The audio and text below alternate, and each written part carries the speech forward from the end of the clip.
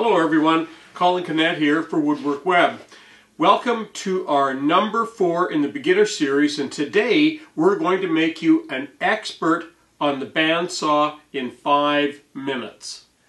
So let's talk about how to set up your bandsaw properly. Now before we do anything on the bandsaw, we make sure that we unplug the unit. So let's take a minute to have a look at the back of most bandsaws. There's usually uh, at, at the back or near the top, there will be a control to tension the blade. There's often a guide that helps you determine on the width of blade that you have where to tension. There's usually a little lever that goes back and forth in here. These are not the best, and the reason for that is because some manufacturers' blades are a tiny bit longer or a tiny bit shorter than others, and that makes these only useful as a guideline.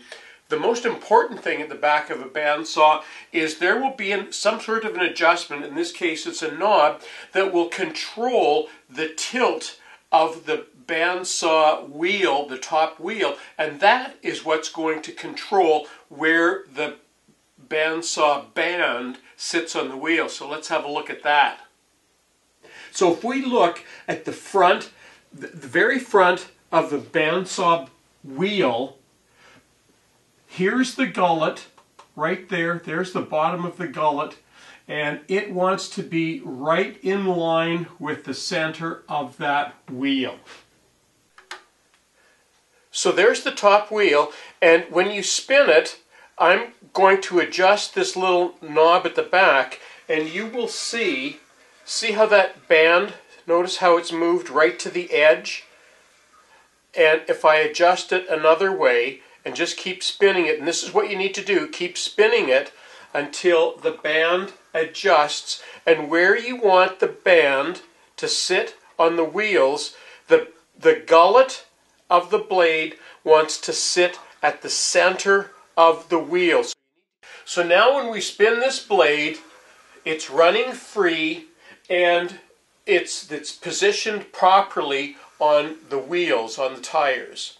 Now the next thing to set are the two guides. In this case, I've got some steel guides and these want to be behind the gullet. These blade guides never want to touch the blade because if they touch the blade, um, it's going to dull the blade instantly. Uh, that's in position right there and I'm just going to tighten that up now.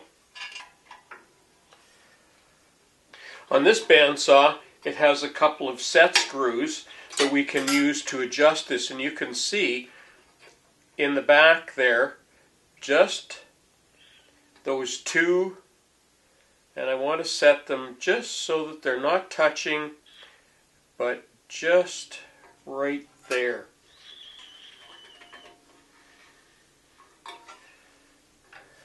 Now the thrust bearing also has a little set screw and it moves back and forth and when the blade is pushed into the thrust bearing this is to take up any of the, the pressure. So the, the thrust bearing wants to be just, it doesn't want to be touching that, it just wants to be just the thickness of a, a piece of paper or something. Um, you can just see that just barely right there, not quite touching. So there's the two blade guides and there's the thrust bearing and I need to do the same adjustment as I did on and the last piece to put on is the blade guard that I took off initially and that's all it is to setting up a bandsaw. Now in a moment we're going to close the doors and we're going to plug it in and when we run it we shouldn't hear any um, any particular noise, any rubbing anywhere. Now before we turn the saw on, the last thing we want to check is the tension of the blade. And I get asked this a lot. How do I check the tension? If you hit it with your finger, it shouldn't deflect any more than an eighth of an inch. So let's show you a close-up of that. So there's a close-up of the blade. Remember, we're still unplugged. What we want to do to, to, to check the tension is to hit it with our finger and there should be about a 16th of an inch play on each side, just a little bit. So in total, an eighth of an inch play, or I think about three millimeters play. Now when we turn it on, it runs just quietly. It's not touching anything anywhere. So that means it's set up properly and it's all ready to start cutting wood now. Once you set up the bandsaw properly, you're going to get far better cuts and more consistent cuts. So, I'm Colin Knecht for Woodwork Web. Thanks for watching. Don't forget to like us on Facebook and follow us on Twitter and stay tuned for our next beginner series.